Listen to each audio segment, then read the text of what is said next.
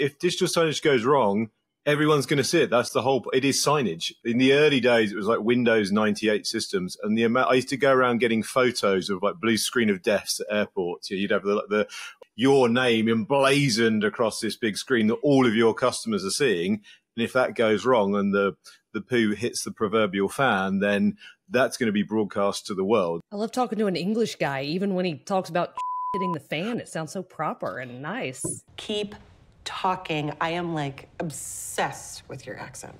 We have made so much progress, and all we ask is an audience with you to prove it. Say aluminum. Aluminium. I love that. The health of the AV industry. Digital signage fails, and Avixa's to run a party for InfoComm at the Las Vegas Sphere. All that and more. Next on AV Week. This is AV Week, episode 657, recorded Friday, March 22nd, 2024. Vegas Sphere Party. This is AV Week, your weekly wrap up of audiovisual news and information. My name is Tim Albright. I am your host with us to discuss the biggest stories we have got this week. First and foremost, Rebecca Sullins from EAVA. Welcome, ma'am. Hi, uh, lovely to have you on, Tim. thank, thank you. I appreciate you having me. Uh, Brock McGinnis from Nationwide. Welcome, sir. Thank you, Tim. Always a pleasure. Appreciate being asked back. Uh, and last but not least, the old has as the old joke goes, I just flew in from Orlando, and boy, are my arms tired because I got to hang out with Neil Fluester this week from Crestron. How are you, sir? I'm very good. It was so good to see you. You're looking good. I said it. I said it on LinkedIn. Yeah, well, I'll, say, I'll say it again. You're looking hot, Tim. I would.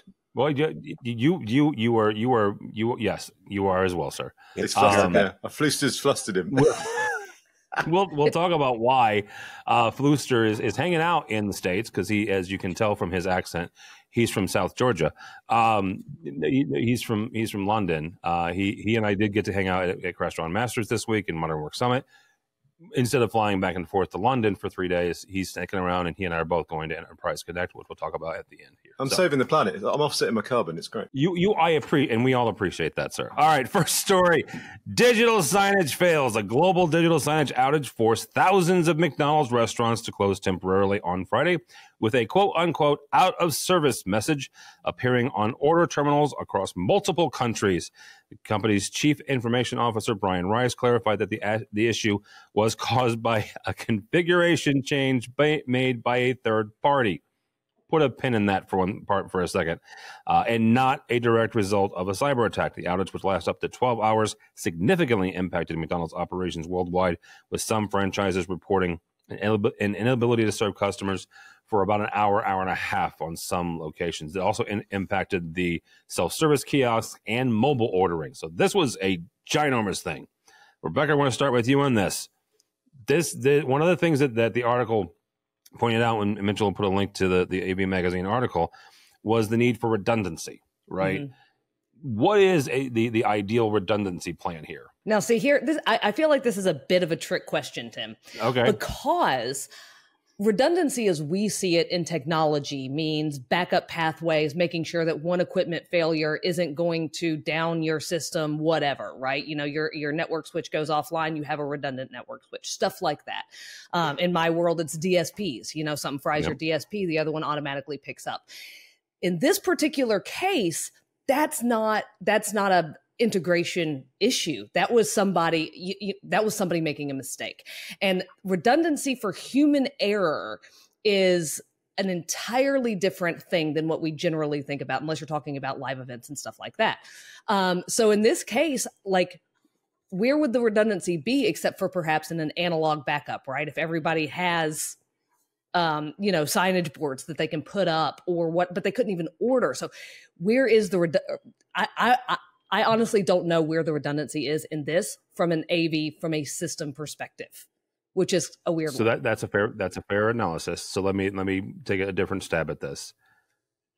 Then how do we not have this happen? Because he, here is where because you pointed out something very critical here, and and that is this was somebody you know updating something when they I don't know how they messed it up, but they messed it up.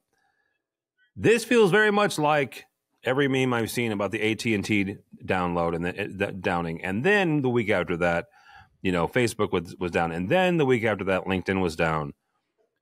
So do we not? How, how, do we teach our techs and our folks best and our customers best practices for when and where to update firmware slash software? Okay, that's a valid question. A, um, you know, it, I think education is key, right? You you don't want to update something that's going to affect tens of thousands of people in the middle of the day, which they clearly did. Yeah. Um, I mean, that's just sort of basic programming, maintenance, whatever. You can automate these things, and that might be a good way to sell control systems, et cetera, et cetera, monitoring so that you know when people aren't using these systems, right? And you can update then. Um, so the control and monitoring aspect becomes really important here. And ironically, the last time I was on this podcast, one of the things that we talked about was the rise in binaural displays, right? Like like mm-hmm. your Kindle, where even if the system goes down, they will continue to display that message. So maybe this is a case in point for going in in a slightly different route as opposed to traditional AV. All right. Brock, same same. I'm I'm I've obviously hit, picked the wrong question, so I'm going to go the other direction on on the update. Uh, a dear friend of mine, Rich Fregosa, says you never update on Friday and you don't do it remotely. So how do we get into our in in front of our clients and say, you know, you whether it's a security patch or it's a feature update, you know, how do you how do we put forth best practices for when and where to update systems? It's interesting because this is the um, you know this is that intersection of uh, AV and IT. Mm-hmm. Um, where we're actually uh, talking about IT practices, uh, which I'm not an expert in.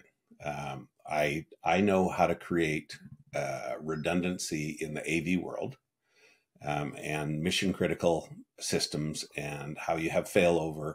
And uh, you know they used to be mechanical and analog, and now uh, now it's digital. But I have to think that there are are IT standards uh, about updates. Um, my sense is that that the McDonald's issue was a POS system, not a digital signage system. Um, any digital signage aspect is is likely just scraping uh, data out of that uh, P- POS system. Um, I hope it wasn't because McDonald's was very slow paying their bills, um, and the uh, and the service provider decided. But um, but we have to talk about risk in every aspect of what we do uh, to the client. What happens when whatever this system is that we're implementing doesn't work? Um, Rebecca, I think the first uh, the first big stadium uh, system that uh, uh, a company I was working for ever did was that they were able to get the funding for it because of life safety.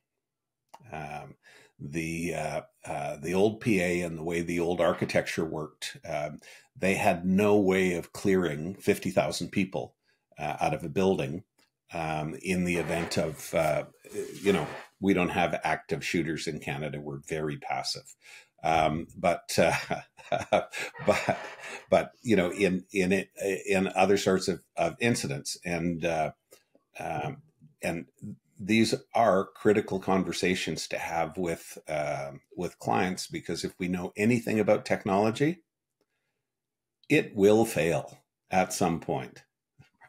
It will get old. It'll fall over, um, and uh, and so if it's part of the conversation from the beginning, uh, it can be addressed, and you can manage the ninety nine percent risk, the one percent risk of some doofus. Uh, making a keystroke error, doing a, a uh, uh, an upload, well, you're right, Rebecca. That's that's not going to happen. Fortunately, Crestron systems never fall over, right?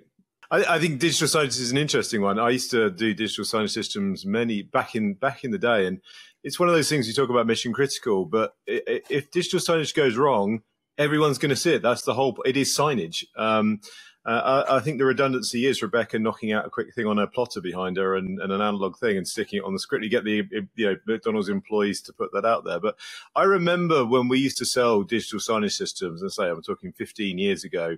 In the early days, it was like Windows 98 systems, and the amount I used to go around getting photos of like blue screen of deaths at airports. You'd have the, the all the screens. Then our thing was don't use a Windows system for digital signage unless you want to advertise, you know, Windows um, blue screens a day. And so we go in and catalog them.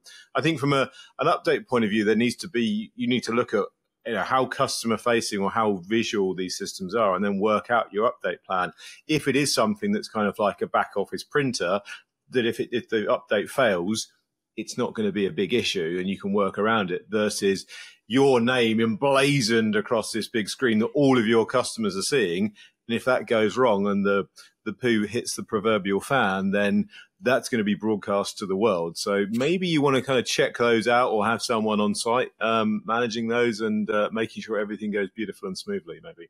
I love talking to an English guy, even when he talks about hitting the fan. I was being polite. Nice. I was trying. I, I, could have gone. You know, again, I, am obviously managing the audience. Again, I'm I'm here teaching uh, Americans King's English, so uh, I'm doing my best. King's English, absolutely. All right.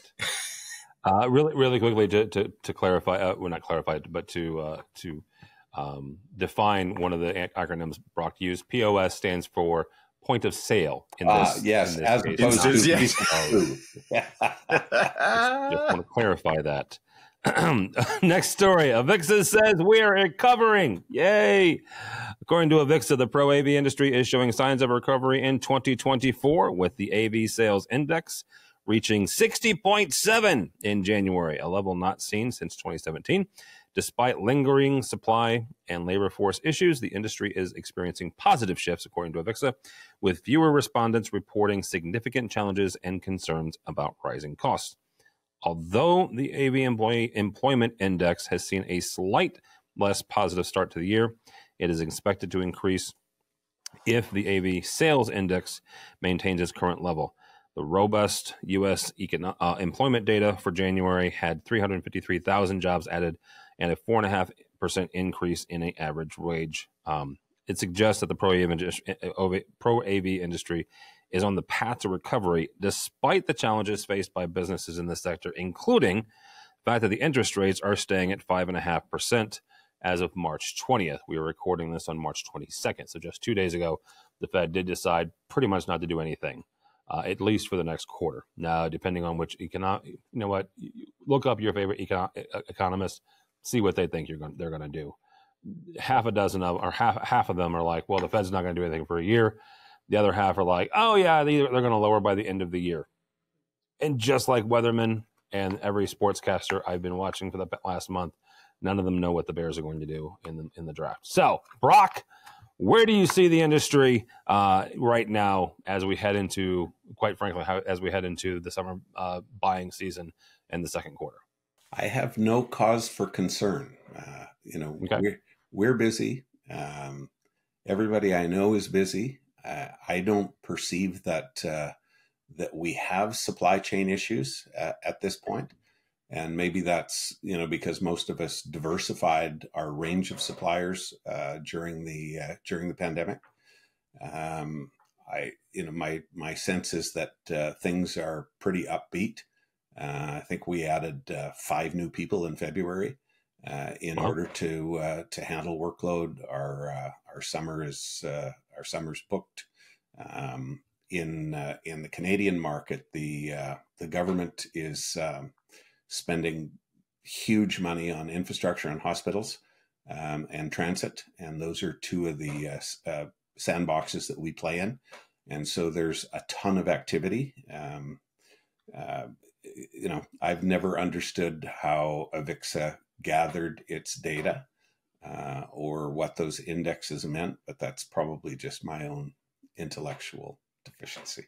The, the vast majority of really really quickly to to have that definition, the vast majority of it is, respondents, right? So these are self-selecting people it, to, to talk in in survey speak, right? They are self-selecting people, meaning that they decided to respond to a, a survey from Avixa, right? they mix that with you know uh, third party economic data right so obviously the, the avixa can't pull out of thin air how many jobs was created in the us or in canada or any other company or a country so uh, but that's why the the one thing about the the respondent was uh, one of the questions was are you experiencing um, significant quote unquote significant challenges?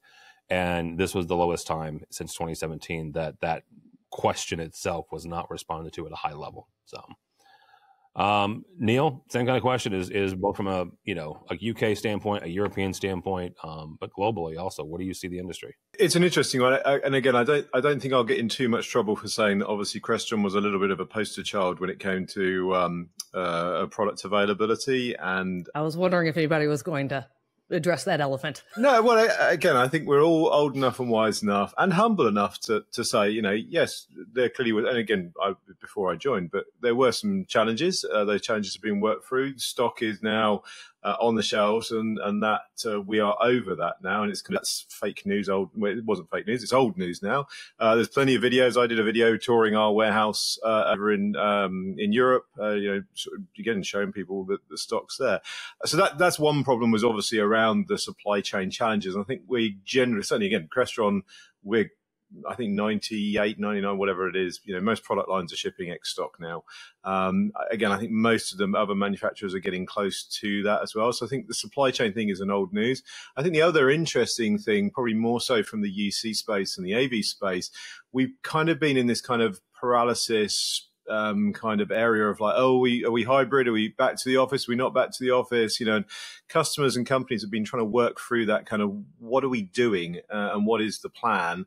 And I think most of that stuff has has hopefully been ironed out and nailed out, and that whole kind of like you know again, Tim, we heard about it in Modern Work Summit, but that the whole thing of you know getting people back to the office or you know hybrid, I think again most people have got a robust plan around that now. So they actually feel comfortable then to say, okay, let's kick off that project to refresh this. Let's move to this new office. Let's maybe consolidate those two offices together into a new office space which will then obviously, as a byproduct, bring on procurement of new updated equipment, refreshes, and things like that. So I think there's definitely an element of that. From a, again, Brock and I can provide more balance from the North American um, pitch, uh, being um, uh, from Canada and UK, but certainly in EMEA, I mean, the UK has got our own challenges. You know, we, we had a, the, the whole problem with COVID, then Brexit, and then, you know, other economical challenges and a lunatic prime minister at the time. But, um, I think the UK is in, in a little bit of a challenging space, but certainly Europe again, you know, some of the other big economies like France, Germany, again, are strong and coming back. Um, and we're certainly seeing more growth in that space. I wouldn't say it's a hockey stick, um, you know, growth, but certainly it's a pleasant um, upward um, linear trajectory. Again, there's no kind of big, big bangs, but certainly there are green shoots um, showing. Um, so yeah, I think I'm positive about it. And again, uh, yes, Crestron had challenges. Again, I'll, I'll, I'll, face the elephant head on, stroke its trunk, and say um, thank you for supporting us and being there with us. Um, we absolutely thank all of our partners, dealers, and customers for um, working with us, and we'll repay you um, with innovation and product availability for the future. I was going to make a slight, you know, Amer- dumb American joke, Neil. You, you you said you know crazy prime minister. My question was which one? Yeah. I was just going to give him the solidarity, like us too. Sorry. All right, Rebecca. Where where do we see the industry? I'm in a bit of a different um, mindset because I work for an integrator uh, and have for a long time, and most of the projects that I work on are very large scale, right? So the microeconomic stuff, like um, getting back into offices and stuff like that, doesn't necessarily affect me directly because my projects never stopped. Um, in fact, you know, one of the big projects that I did at my last company was actually pretty famous for being one of the things that never stopped during COVID because it was just too big to you, you can't rail that train in, right? So my sort of state of the industry is based on product availability, globalization, shipping, etc. And I saw some really, really, really, really heavy stuff with that. Um, from every manufacturer, uh, you know, not just to pick on Neil there, but um, but I do believe that Brock hit on a good point in that it's caused people to diversify, right? To go to other places, to look at other products, which I find um, to be helpful um, you know because sometimes you fall into the trap of using the same thing over and over and over and over again even if it might not be the best thing out there. So anyway sorry uh, slight tangent but to get back to your question um, i think that the av industry as a whole i do see a lot more um, hiring people you know um, people need workers everywhere and people need specialized workers. And the good thing about a lot of the av industry is it, it, it you can you can work remote you can work hybrid you can do all of these things and we kind of go hand in hand right we need um we need offices to have an AV industry, and the AV industry needs offices. Um, but it's a weird sort of um, uh, dichotomy for me because I my work never stopped. Um, but watching the, the, sector as a whole go back up, um, as Neil said, like a hockey stick, uh, I think bodes well for the industry as a whole because that trickles into my side of it. Product availability people availability yeah. more people coming into the industry etc awesome. All right uh, final story uh, june 12th through the 14th InfoComm will be happening in las vegas nevada. June 11th avixa has rented out the las vegas sphere. Pause for a second. Um, I can give you all the details because I've been talking. I, well, I talked with them six months ago. I can tell you exactly how much this costs, and we'll talk about that in a second. But Avixa has rented out the Sphere for an event. Uh, it's the opening reception on June 11th. Um, it is the event will begin with a reception prior to the showing of Postcard from Earth, uh, which is the Darren Aronofsky movie created especially for the Sphere canvas. Depending on the number of attendees Avixa is planning, the cost of the event could run anywhere from 30 grand up to 3 million. Uh, there was nothing at press time on, uh, you know, which, which way they went. I, well, here's the thing. Here, here's, here's the, so you can, you can rent out the sphere for a day, everything from top to bottom, you own it for $2 million, right? So two million bucks a day, you get the whole, you get every seat in the house, you get all the stuff, right? You get the screens, you get all the uh, jazz. That's for the, the guys putting on U2 right? The, the folks producing U2, they're probably paying two million. They may get a discount. I don't know. But if you want to have an event at, with an existing performance, either you know postcard from the edge or, or postcard from Earth or whatever, you buy a bunch of tickets. You you pay for food and beverage. Uh, you know, you work out the deal. That's where the thirty grand can go up to if you buy out every single seat in the house. Eh, this was this information is two months old now, but it was eight hundred and fifty roughly US. Um, and that's without advertising on, on the outside of the sphere. That is half a million dollars a, a week uh, for roughly. I mean, depending on, on how many you bought and all that jazz. But a 10 second ad for, for the week was, was you know, $480,000 uh, for that. So, Neil, um, if you're going to Vegas and you're like, you know, the sphere is cool, I either don't want to, you know, go to the sphere or, or, you know, 16k makes me nauseous whatever reason you're not you you don't want to go or if you do want to go but that's just one night what else in vegas is going to give us an exceptional av experience? Well I, am a bit concerned because i was always told what goes to vegas stays in vegas so i'm a little bit concerned about talking about this you are so. entirely too social for that belong to you yeah, absolutely. Um, so what i happened in orlando this week didn't stay in orlando. No exactly. No it's it's yes absolutely quite. Um, I, I, I didn't do i went to it was my first time in Vegas actually. Uh, last InfoComm in Vegas, um, okay. and I did a. There was a lady who took me on and been around every single casino. We marched around every casino. Uh, she knows who she is. Um, uh, that was quite interesting and quite an experience. Um, I didn't do the Tesla loop. That's meant to be quite good. Uh, if anyone's obviously looking for uh, a marriage with Elvis, I think that's obviously quite uh, quite a thing. But I think from an AV point of view, uh, I mean there is a lot of AV in that space. Um, and you only literally have to walk down the strip to, to see a lot of AV. The sphere is a bit kind of like it's it's a bit kind of meh, isn't it? I mean, it's like a big thing. It's a big telly, isn't it? It's a big round telly. Well, am I over? You know, I'm sure it's an amazing experience to go in and see it, but it's not. I'm not sure it's gonna. It's a big round telly. Um, so yeah, I'm. I don't know. I'm not. I'm not sure how sold I am on that here's my two cents because I have been inside the sphere. I've not seen a performance. That, I have not seen a performance there. I've been inside though, and I've, I've you know, I'm not going to call it 4D or 5D or anything like that. Just let, us understand that darn near every one of your senses is going to be activated in some way, shape, or form, right? They can shake your chairs. They can lower the temperature 10 degrees in three seconds. They can, you know, they have a wind machine they got everything right. They even have smell-o-vision, and yes, I said they have smell-o-vision. I'm not kidding. That's not the guy next to you that's just so, had a bit too much turkey or whatever. For for an ex, for an experience, it might be worth it, right? Uh, Rebecca, what, where where else in Vegas, or just go to the Sphere? Where else in Vegas should we go for some really interesting uh, AV experiences? Oh gosh. Um, okay, so I a I will be there all week this year, which is a frightening proposition. Pray for me. Um, so lots of opportunities. I've been looking at uh, going to a lot of a lot of stuff. And me, I come from live events, theater. Um, you know, I went to an arts conservatory. So for me, the epitome of and this is going to sound a little bit weird, but for AV stuff is a lot of the Cirque shows that implement it as a um, as a uh, supporting character, right? It it's like the sphere. It's you're right. It's a big telly. Now it is a really cool experience. I'll give you that. But I like AV to be the supporting character in something else really cool, right? Um, like Ka was one of the first installations in America to do stuff like immersive audio. Like they have speakers in the seats. When Jonathan Deans designed the auditorium, he designed it for that show.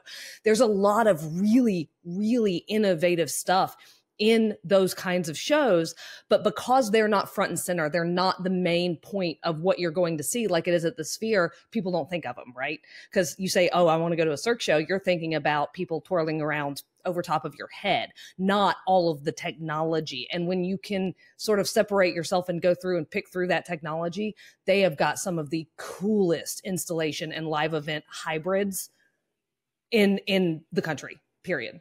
All right Brock, one with you on this. Yeah, what do we think about Avixa kicking off the week, uh, kicking off their biggest show, go into the sphere? Um, I wrote a, uh, I posted uh, on LinkedIn and uh, complaining about it, and then er- uh, erased it because um, I don't always want to be that guy.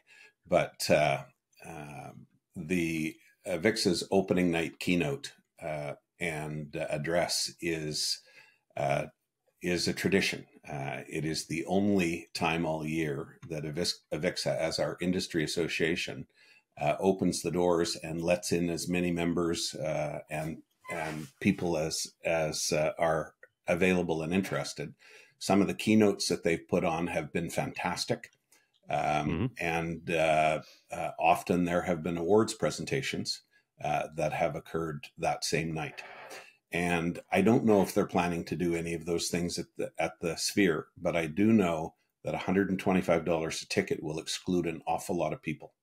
And I just, you know, I know uh, within our own company that uh, as soon as I read the press release that this was happening at the Sphere, I sent out a note to all our InfoComm attendees to sign up because uh, this was wonderful. And then they went to sign up, and bing, bing, bing, bing, bing, the emails came in it's 125 US dollars, uh, which is about like 800 Canadian or something. I don't know. I can't do the conversion anymore.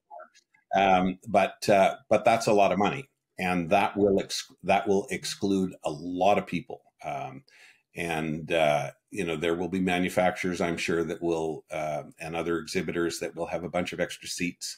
Um, but uh, but you know, as unique as the sphere is, and as much as it you know, it is the ultimate in backstage tour.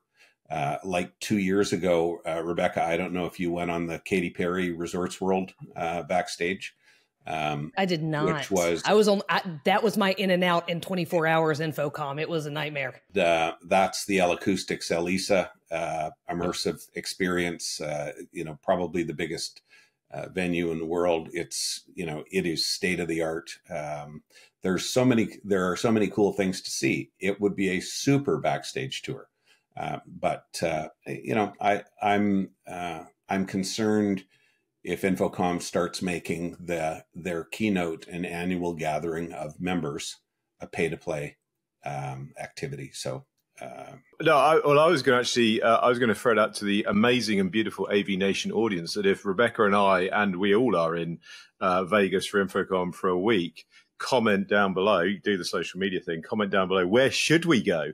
If you're watching this, uh, you know, we'd love to hear from you. I'm, I'm going to actually stay on probably the weekend before and after. I want to go on like a, a tour up to Death Valley and, and cause I always just go again, like Rebecca, in and out. You see the hotel, the, the convention center and the airport. Don't go to Death see. Valley. I, have got some better places for you. Okay. Well, okay. Tim, you give me your yeah. list personally, but if you're watching this online in the comments down below, give Rebecca and I your, uh, your top five places to go in Vegas. Uh, cause we'd love to know. or, or Maybe we'll go Vegas, together. You know, Yeah. Oh, yeah. Absolutely. Yeah. Yeah. Because There you go. Death Valley is not around Vegas. I just want to point that out. I mean, Okay. it's, just, it's not like just around the corner. It's in a whole other state. Oh, is It it? is a oh, whole other it. state. Okay. good. Brit, which Brit is like it, it, it would be like it would be like you visiting I don't know Germany, Go on. Oh, okay. Eh, France, Uh, France, I, France. I, I, I was about to say, don't say France because they can get to France in like 45 minutes on a We- train. we got a train that goes We'll under the sea. Anyhow, so ABI Systems is a sponsor. Is currently the only sponsor. It's not the only one, but they currently the sponsor of that. Uh, we're owned by CTI. I got nothing, you know, uh, against AVI Systems. Good on them for for sponsoring it. So, um, but yeah, in Neil, it starts and ends with Gordo's Tacos. Uh, is is where we're going to start. So, all right. Uh, thank you guys so much, Rebecca Sullins. How do people connect with you? Uh, you can find me on LinkedIn, um, Rebecca Sullins. You can uh, email me, rebecca.sullins at ampthink.com. Um, and uh, Twitter, I think I'm still on there, uh, or the X as they call it. Uh, I I like to, you know, go and poke fun at Tim every once in a while. That's it's fun fair. for me. Um, yeah, so LinkedIn, Twitter, or email. All right, Mr. McGinnis. Thank you, sir. Uh, how do people connect with you? Brock at nationwideav.com. I'm on LinkedIn. Uh, I spend very little time on Twitter anymore. Um, Brock McGinnis there, uh, and uh, I miss I miss connecting with all the people. Uh, I wish that there was a, a uh, another platform that uh, uh, you know was more socially acceptable and and uh, have less garbage on it. That uh, that we could still connect. Although I'll still do an AV in the AM every once in a while because Mr. Neto continues to do a great job. Um, Yeah, he does. but I'm not hard to find. No, no, you're not. All right, uh, Mr. Fluester, thank you, sir. Uh, how do people connect with you? How do people connect with Crestron? And how do we watch Crest TV? Oh, that's a plug and a half. Uh, crikey. Um, I got a crikey in. Um, so I generally make a nuisance of myself on uh, LinkedIn, uh, Neil Fluester or Neil Crestron. You can generally find me. I'm, I'm out there. Uh, I don't do the Twitter XE thing. I'm too old for Instagram and TikTok. Um, so don't do those. Uh, but I do, and thank you for that. And again, Crestron is very social as well. They're um, a company you can find. Uh, and yes, crestron.com slash cresttv. Uh, every Thursday, we do a, an inferior show to this one um, that we put out. Um, but we, we try, you know, the bar's high from Tim, but we'll, we'll do our best to try and uh, excite and interest the UC industry. Uh, but don't be scared. Don't be shy. Don't be scared. Uh, I'm a nice guy. Um, so yeah, come and say hi. Generally, yeah. And, and you get to go to better places. I'm stuck in the studio. You get to go like all over Europe. Yeah, I'm in uh, Munich in a couple of weeks and then Amsterdam, Stockholm. Um, yeah, I'm on tour.